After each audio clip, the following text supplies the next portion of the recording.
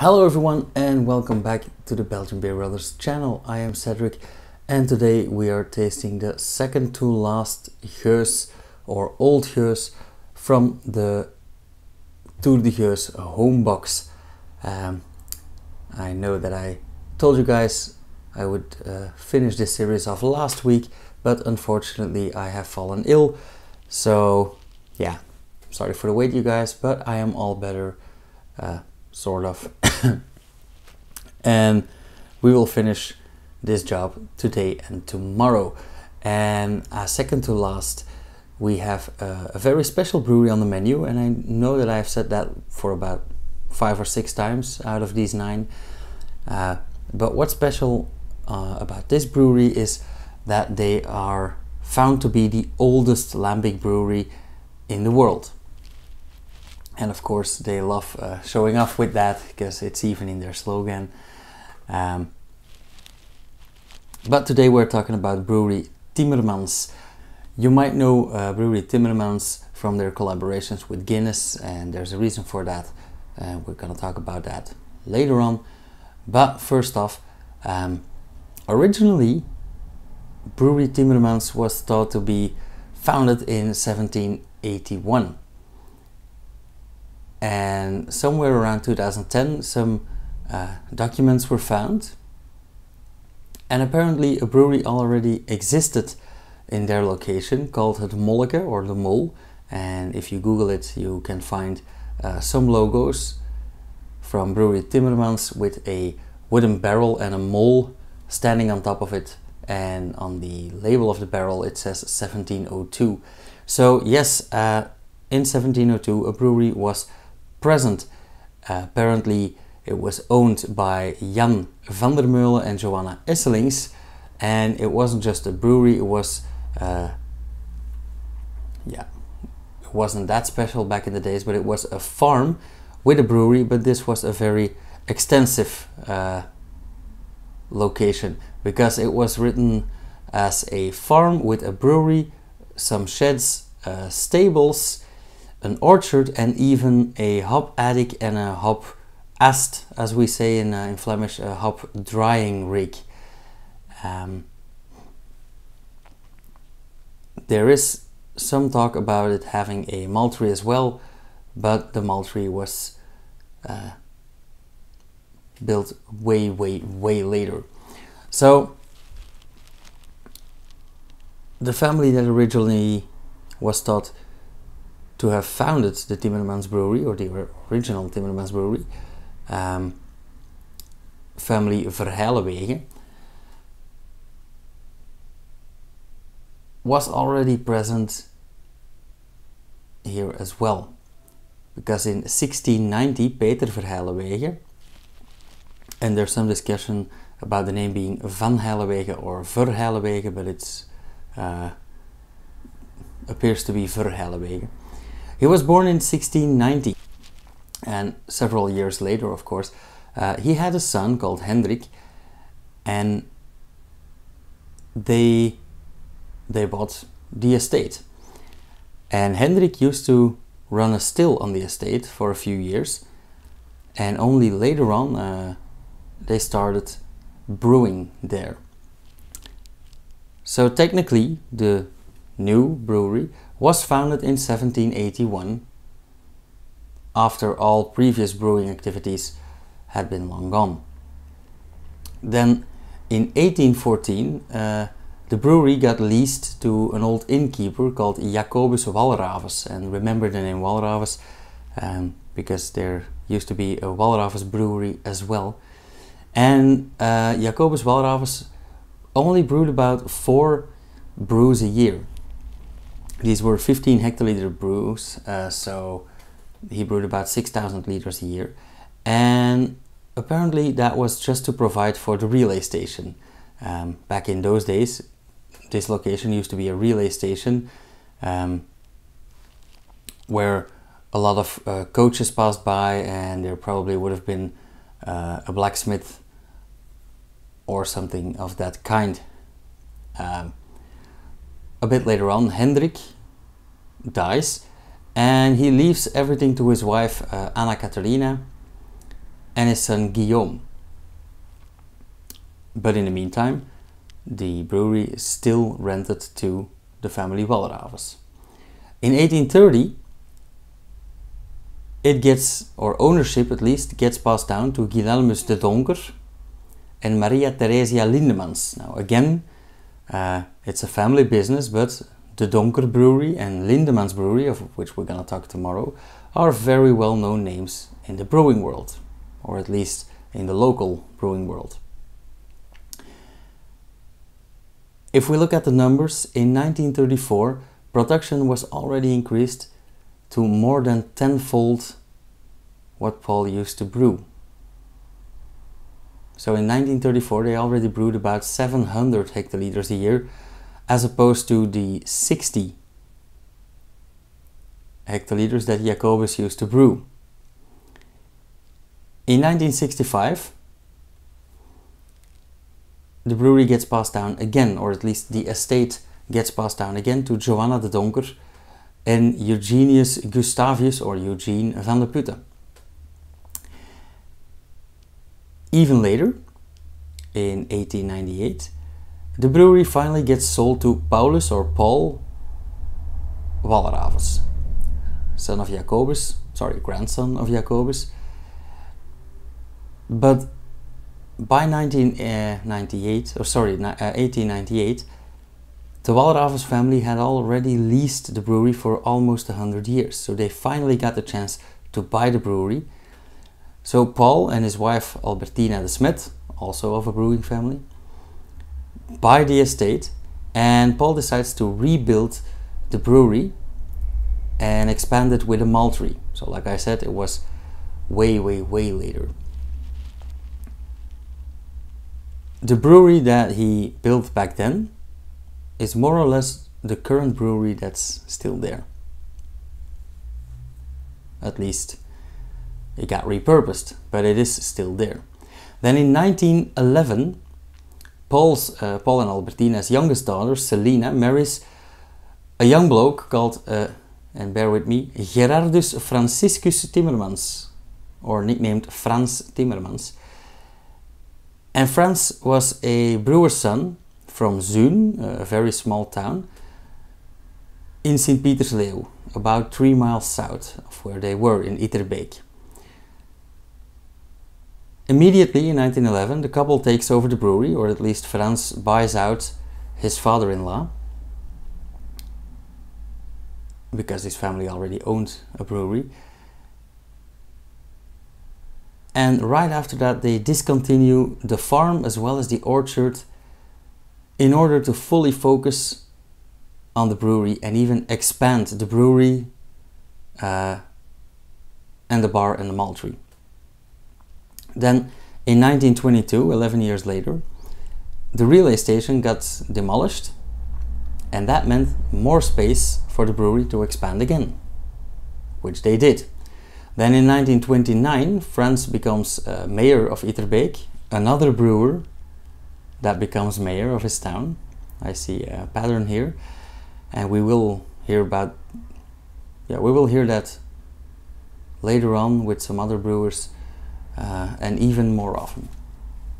So he becomes mayor of uh, Itterbeek and he stays on until 1955, so a 26 year reign.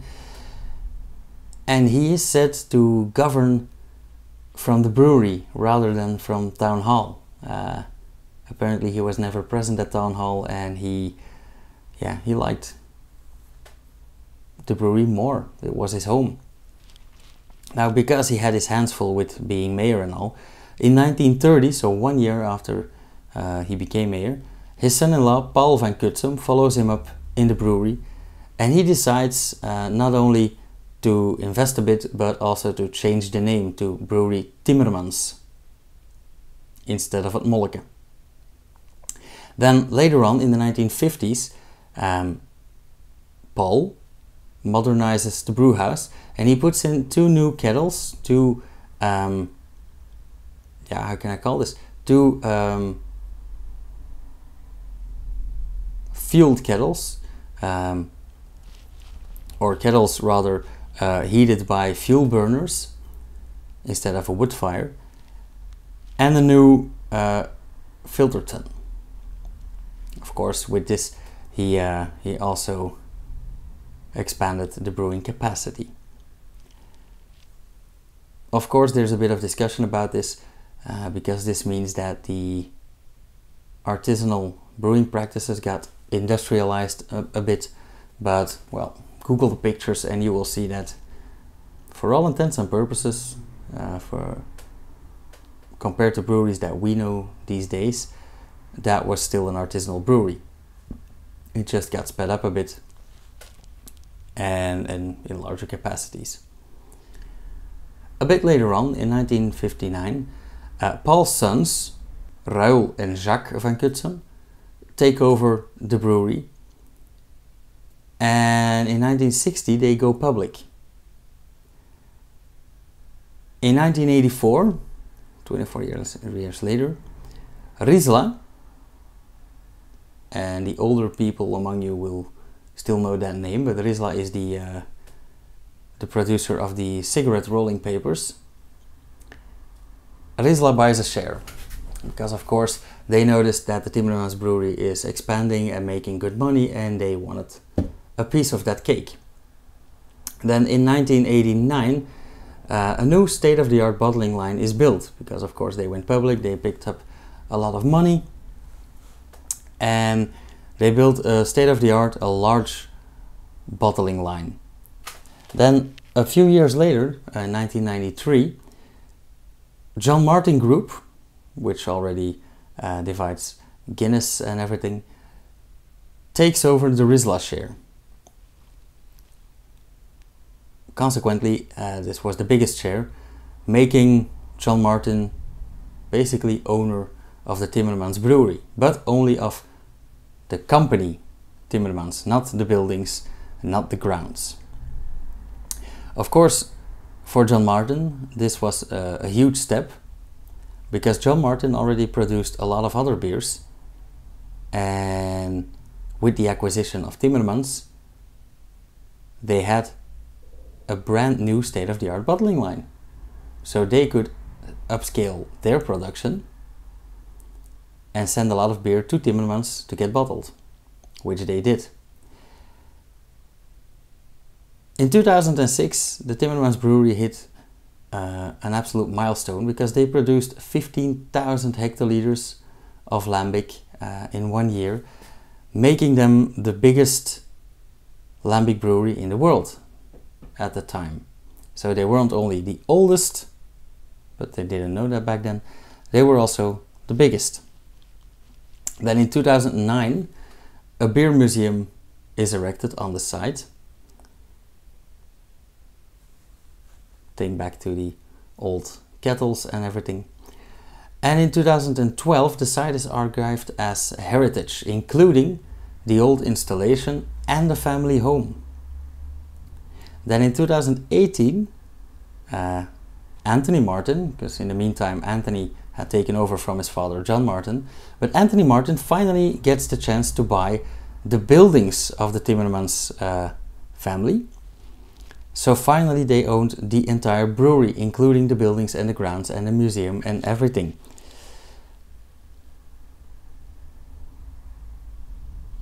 Technically, Timmermans is a part of the uh, Anthony Martin's finest beer selection, but they have a separate status within the company uh, because they are the only Gueuze or Lambic brewery. They are they have a special story on its own, but they still bottle a lot of the Tim, uh, a lot of the Anthony Martin's beers. Now, coincidentally, this month Anthony Martin started brewing here in Antwerp again. That is to say, the Antwerp Brewing Company expanded earlier this year they almost tripled their capacity. And Anthony Martin had a lifelong dream of uh, brewing in Antwerp again. So one on one makes two. ABC has the capacity, Anthony Martin has the dream, they talk to each other, and here they go. So now they will be brewing in Antwerp again, but still sending their beer to Timmermans for bottling. Another nice detail is um, Timmermans holds on to traditions. For example, they have a, a fantastic brewmaster called Willem van Herreweghen. And some of you might know the name Willem van Herreweghen um, because he used to work at Diepenstaan at Palm Brewery, now owned by Heineken. But his legacy goes uh, further than that, even in the, the world of Geuze and Lambic, because he's also one of the founders of brewery De Cam. Or I say brewery, it's actually a blendery, but blendery De Cam. And De Cam already bought Lambic from, I believe, Boon and Timmermans. And Willem went to Timmermans and became brewmaster, brewing engineer. Their current production got upscaled to a whopping 23,000 hectoliters a year. So they even upped their game from 2006 with, with 50%. And about three quarters of that is used for the production of other beers. And by that I mean uh, the lambic is used to make Oude Timmermans, but also, uh, for example, Bourgogne de Flandre, uh, the red ale or red sour ale from Bruges. And the list goes on and on. Now, I do believe that um, this won't be the last we've heard from Timmermans. They already do their collaboration with Guinness. They export, uh, I think, about 60% or 40% of their production. It is a great brewery, but of course, the proof of the pudding is in eating. So, let us taste the Oude Geuze. And I must admit that I have never tasted a Timmermans Oude Geuze. I am very familiar with their other beers, or at least with Martin's other beers, like the Martin's Pale Ale, or Guinness, or Antwerpen Stout. Here we have the logo I talked about, with the tiny mole on the barrel. Hmm. 1702. On the muselet, yet again, a nice 37.5 centiliter champagne bottle. If you Google Timmermans Oude Geuze, you will often find that it is a 5.5% ABV beer, but it is in fact a 6.7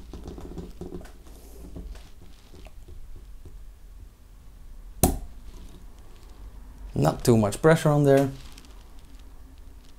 Ooh. A lovely tender smell. And even on the cork, it has the logo with the mole on the ton or on the barrel with Timmermans 1702.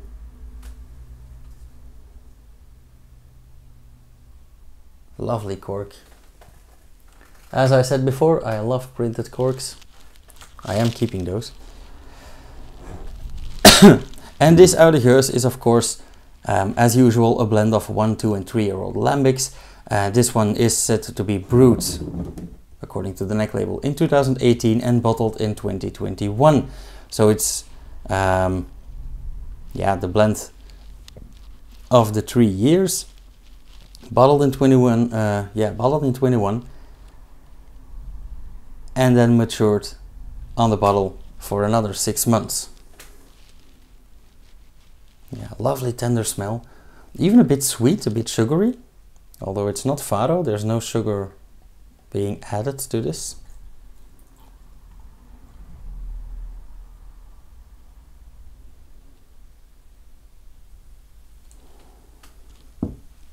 Already a lovely color. It's more like a golden yellow, not much orange in there.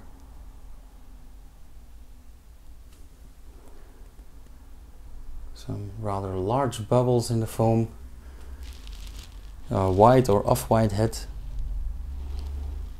And the beer is quite active, I see a lot of bubbles in there.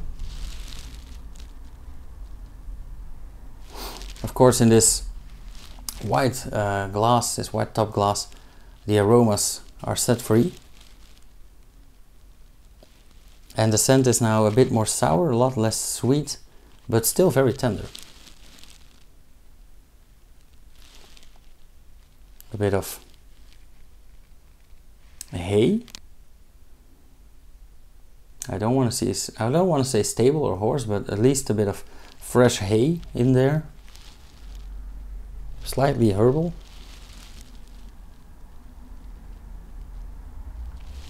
A bit woody.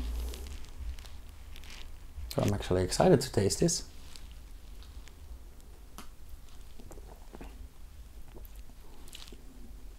Ooh, that tastes a lot more sour than it smells.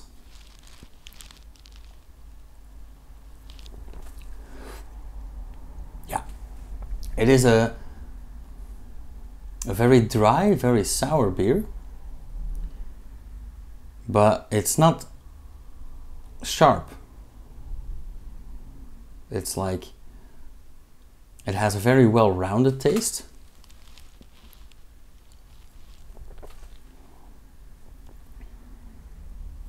rather fruity. Not so much lemony. I'd say a bit of grapefruit. Some very, very fresh sour green apples and a hint of vinegar. Yeah, definitely a hint of vinegar.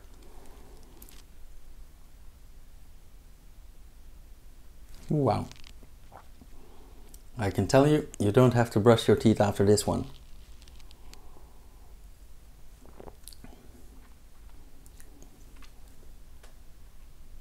You might even have to go look for the enamel on your teeth.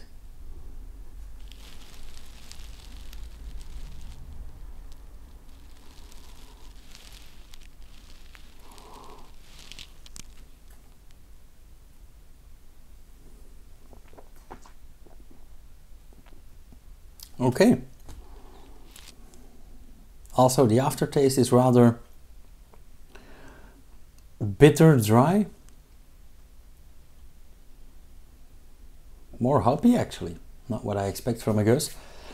But in conclusion, I can tell you that um, if you're not used to Gueuze and if you don't know yet if you like it, don't start with this one.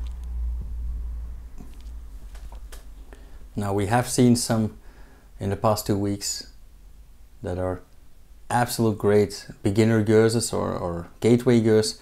Um, yeah, let's say that this is pretty much an intermediate one.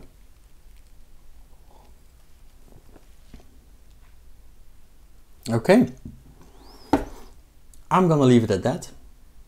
I'm gonna take my time to enjoy this well and I will see you guys again tomorrow for the very last one in this box and that is the Lindemans Oude Geuze Cuvée René which has a story all on its own.